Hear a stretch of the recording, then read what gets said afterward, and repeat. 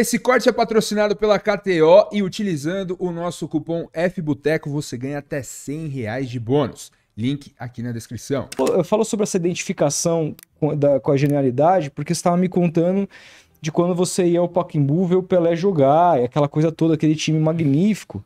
Mas também você, antes de começar o podcast, falou, você tem muita ciência do que está sendo feito agora em termos de futebol moderno com relação a, ao que o Palmeiras tem feito, ao que o Abel tem está construindo, etc e tal.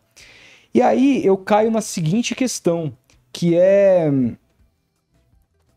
muito, a gente está hoje muito nessa discussão entre o que foi bom no passado e o que é bom hoje, com características muito diferentes. E com esse teu olho clínico para observar a genialidade, com, é, sendo um cara que conhece, gosta de futebol, acompanha. Você consegue fazer um comparativo entre o melhor do, do mundo atual, tipo um Messi da vida, e o melhor daquele momento, tipo um Pelé? É. Você acha que tem, tem um nível de comparação? Não, eu acho que tem. E isso é minha opinião uhum. pessoal. Eu vi jogar ambos. Uhum. uhum. Né? Não tem comparação.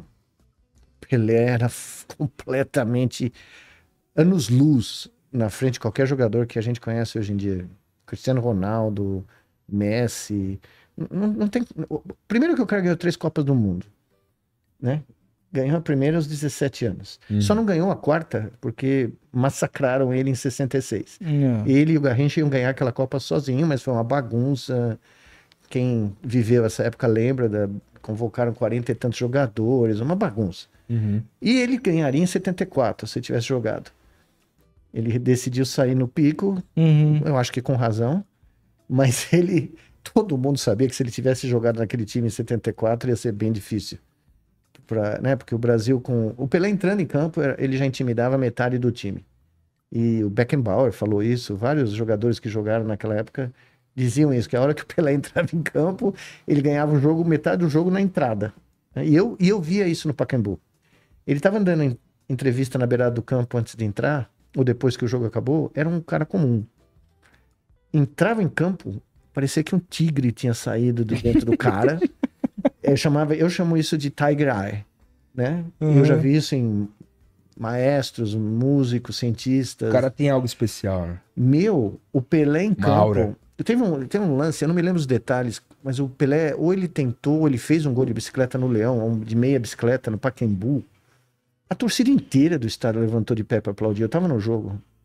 Foi um negócio do outro mundo eu torcida inteira, palmeirense, santista, não, sem exceção, porque o cara desafiava eh, qualquer tipo de uh, lealdade clubista, entendeu? Uhum. Se, literalmente ia pro campo para ver o cara. Como o Ademir da Guia, a mesma coisa, o Dirceu Lopes, ninguém fala, mas quando o Cruzeiro ganhou do Santos aqui, a Taça do Brasil, uhum. que acabou com a hegemonia do Santos, né? Sim, goleou Paulo, Santos, goleou, lá goleou. e aqui. É com Piazza, Tostão, Dirceu Lopes, Natal. Meu, o que o Dirceu Lopes jogou? Meu pai fala isso, cara. O que o Dirceu Lopes aprontou naqueles é. dois jogos foi uma coisa de louco. E o cara nem, nem reserva da seleção ele era. É. Então, veja, a seleção de 70, eu tava outro dia falando com o Oscar Ulisses isso, né? Tinha Gerson, Rivelino, Jairzinho, Tostão, Pelé. Todos eram 10 nos seus times. E o do Zagallo teve que achar um lugar para os caras ali. Todos jogaram. Todos jogaram. E todos acabaram com aquela Copa hum. do Mundo. Hoje em dia não se faz mais isso, né, cara? Hoje em dia cada um na sua posição. Veja, vocês estavam, vocês viram o jogo com a Croácia na Copa do Mundo ano passado. Claro. Eu tô lá nos Estados Unidos. Fez um ano ontem. É, um ano. Eu tô lá assistindo. A... Não, tava aqui na rede. Essa eu tava aqui. Assistindo o jogo, eu falei, meu Deus, porque ele não põe o Martinelli na ponta direita? O cara é canhoto, ele corta pro meio. O Martinelli do Arsenal. Uhum. Põe o Vinícius Júnior na esquerda, deixa o cara terminar o jogo, né? O melhor jogador do ataque. Põe o Martinelli na direita, o cara tá explodindo no Arsenal. O cara vai driblar pro meio, vai chutar com a esquerda, né? Que é o que tudo, o que o Abel faz. Fez com o Arthur aqui. Uhum, jogou na pé trocado, né? Pé trocado. Meu, o Brasil ser desclassificado pela Croácia ganhando de 1 a 0 até não sei quantos minutos da prorrogação, é, é, uma, é uma coisa surreal. Surreal. Nós tivemos um jogo igual na Copa de 74 com a Iugoslávia. Que a Iugoslávia era a reunião de todo aquele povo. Uhum. Sérvia, né? Uhum. Uh, Croácia. Sim. Era um dos maiores times do mundo. Foi 0 a 0 na abertura da Copa de 74. Mas o Brasil uh, jogou bola. Aquele Brasil ganhava dessa Croácia de 6, 8, não sei. Né? Então não faz. A Croácia tem que 3 milhões de habitantes? 4? Sim. A gente perdeu pro Uruguai.